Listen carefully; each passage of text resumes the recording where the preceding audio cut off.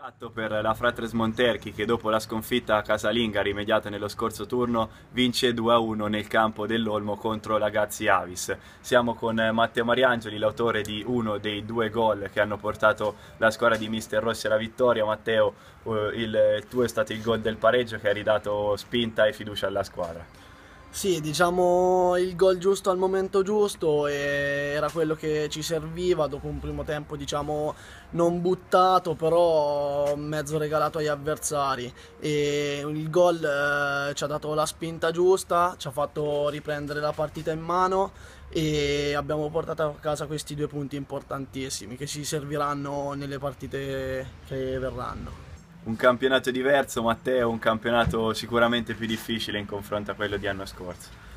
Ce lo aspettavamo, ce l'avevamo prefissato, lo sapevamo e così è stata, cioè le prime tre partite l'abbiamo subito notato, magari un po' siamo andati in difficoltà perché abituati al campionato scorso diciamo che ci può stare.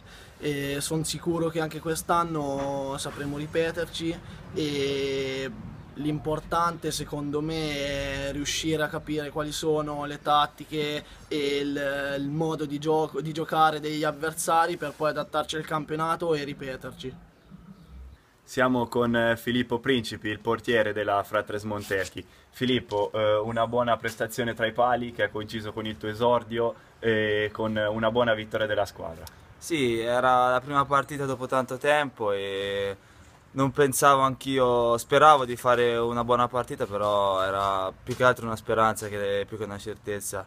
E primo tempo qualche insicurezza di troppo, poi nel secondo eh, insieme alla squadra insomma, abbiamo fatto un'ottima partita, l'abbiamo rimontata, abbiamo ripreso quello che sembrava diciamo, perso, abbiamo giocato bene e siamo riusciti a portare a casa questi due punti che sono veramente importanti un campo difficile, una squadra avversaria ostica, sicuramente una vittoria che dà morale. Sì, dà morale perché per come è venuta soprattutto siamo stati messi sotto nel primo tempo, poi nel secondo siamo tornati in campo con grinta, con voglia di vincere e, e l'abbiamo portata a casa per fortuna.